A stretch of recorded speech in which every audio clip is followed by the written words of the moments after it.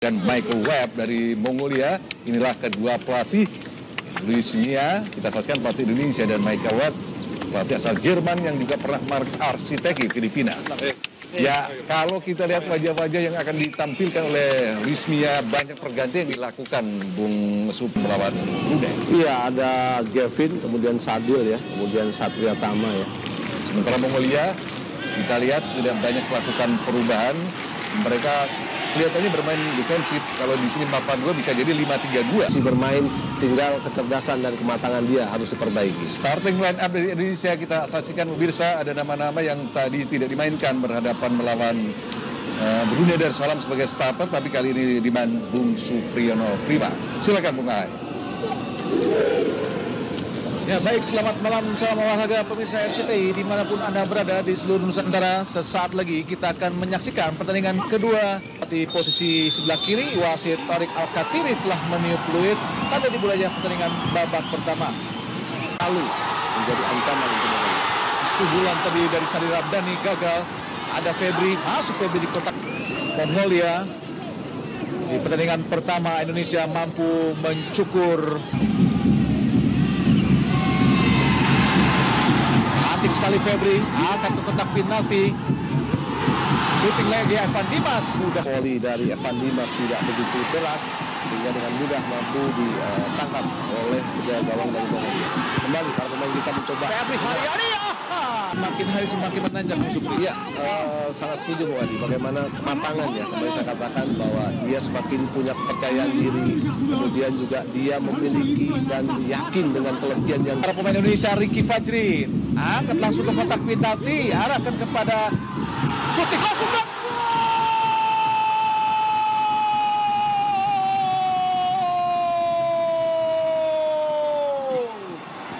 Gavin Kwan Atse membaca kebentuan dan menciptakan skor pertama buat Indonesia menjadi 1-0 dan ini bukan pertama kalinya Gavin untuk mencetak gol Bung Supri. Betul, Gavin juga menciptakan uh, satu uh, dari tujuh gol uh, ketika itu ya di Piala Asia Under 23 ketika itu Bung Hadi dan ini adalah opsi yang sangat baik dari Hansamu.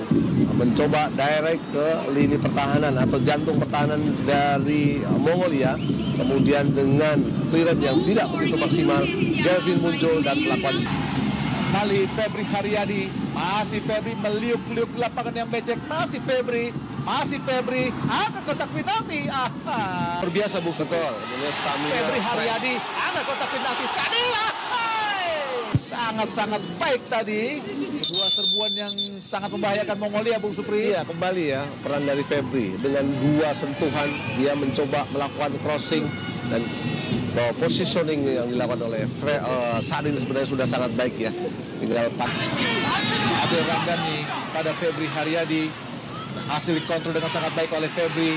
Usia dia melewati. Luar biasa Batur. Masuk. Shooting langsung dan masuk. Osvaldo Hai mampu menciptakan gol kedua buat Indonesia sehingga menambah skor menjadi 2-0 buat Indonesia. Lawan Mongolia di Stadion Harapan Bangsa Long Raya Aceh ini Bung Supri. Ya kembali ya. Kembali saya katakan bahwa aktor dari Febri Haryadi selalu menjadi pembeda selalu membuat lini pertahanan dari Mongolia porak-poranda ya. Kecepatannya kualitas crossingnya. Kita lihat bagaimana akurasi crossing mampu dijawab dengan sangat baik oleh Osvaldo Hai. Walaupun memang dia masih berupaya memberikan umpan kepada Mongolia Osvaldo Hai. Osvaldo Hai. Masih Osvaldo. Sendirian. Ah, berhenti di genap lakukan sudah. Di kotak penalti arahkan kepada Gang Huyak. Penalti. Terlihat tadi Sadil memang mendorong walaupun pelan memang mendorong Bung Iya apalagi di situasi memang di dalam kotak penalti Indonesia di box Indonesia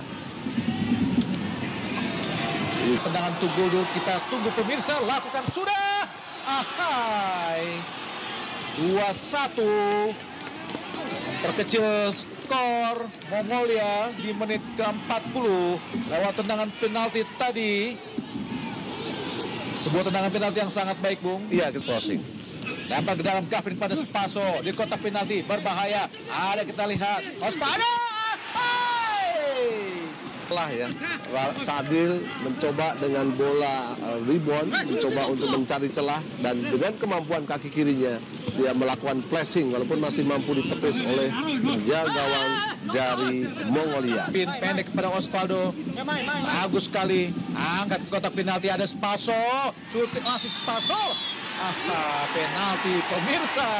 Menarik nampaknya tadi Orkon Mung Orgil terhadap badan dari Os, maksudnya Spaso Yevic. Kita lihat pemirsa. Nampaknya pun Spaso harus mengeringkan titik penalti terlebih dahulu, Bung. Iya. Spaso Yevic. Gol! 3-1. Indonesia unggul atas Mongolia pada ajang Aceh World Solidarity Cup 2017 sebuah gol penalti yang luar biasa Bung Ya, saya pikir dia punya ketenangan, dia punya pengalaman,